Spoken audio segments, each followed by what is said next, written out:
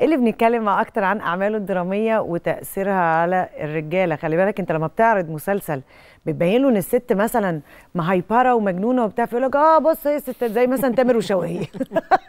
زي راجل وست ستات.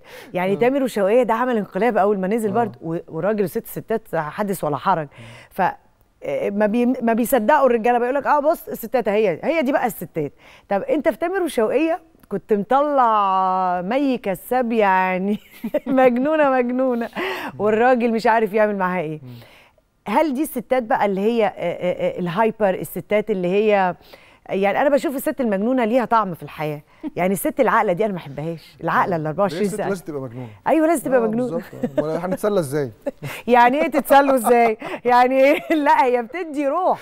يعني ما بتبقاش روتينية ما تحسش إن أنت كده يعني إيه مكتب في مكتب في آه، البيت. مفاجآت طول الوقت. لا يعني آه، درست الشخصية ال hyper دي يعني ساعة تامر وشوقية يعني وراجل ست ستات يعني كنت طول الوقت في مفارقات. يعني آه، الست وهي بتطلب فلوس الست وهي حالتها النفسية مش مظبوطة.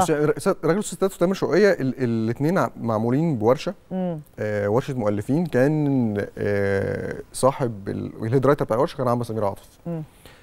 فكل إحنا نقعد نيجي نقعد نشتغل عشان نبدا نكتب ونفكر في بتاع. فكل واحد بيجيب الستات اللي عنده في البيت ويحطها على الترابيزة ونبدأ نشوف الست بتفكر إزاي ومش عارف إيه و... تمام يعني و- حالات حية. بالظبط كده. ما هو في الآخر انت كمؤلف هتجيب افكار يعني هتجيب منين؟ مم. انت لازم تجيب من الحياة اللي حواليك.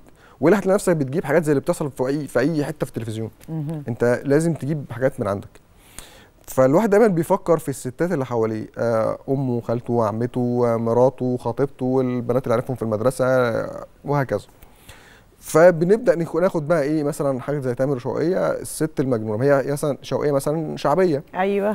بس في ستات مجانين مش شعبية عادي يعني. مم. فإحنا بنجيب الجزء ده ونبدأ ننظمه ونشتغل عليه. بس طبعا في, في إطار الشخصية اللي ممسوكة بتاعت شوقية اللي هي زي ثابتة زي ما هي ونبدأ نبقى نحركها في المسلسل.